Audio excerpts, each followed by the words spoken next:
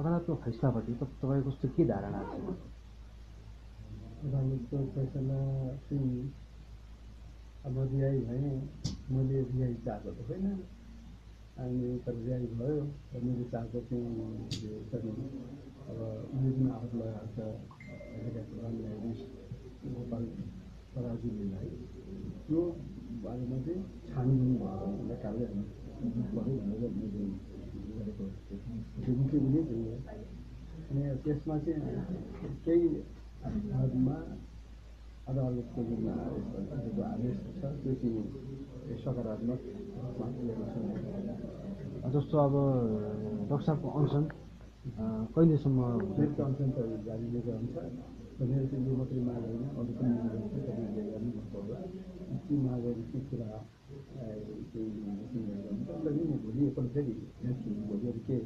मागहरू के के हुन्छ त्यसपछि उयो गर्छु तर अरू पनि माग भएको हुनाले गर्दाखेरि अरू पनि माग पनि माग भएको हुनाले गर्दाखेरि सम्बन्धी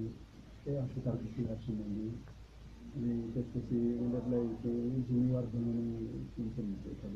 जीवन इन्डस्ट्री सबै कुरोहरू छन् त्यस कारणले